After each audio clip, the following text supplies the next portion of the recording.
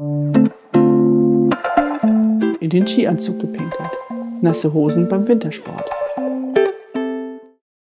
Frisch verliebt verbringt das junge Paar ein verlängertes Wochenende im Schnee, wobei Julia während einer Skilanglauftour den gesamten Inhalt ihrer Blase lustvoll in den Skianzug laufen lässt. Ihre Erregung weckt Aarons Neugier, der vom geilen Gefühl, sich in die Hose zu pinkeln, überwältigt ist.